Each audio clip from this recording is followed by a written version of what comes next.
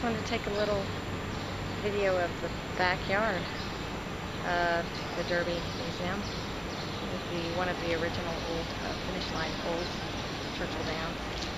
Got a little tent erected back here now, but this is a beautiful backyard. Back way entrance. It's gorgeous. It's all private. Beautiful. Go out these doors, that's okay. Go out these gates and you're in Churchill Downs.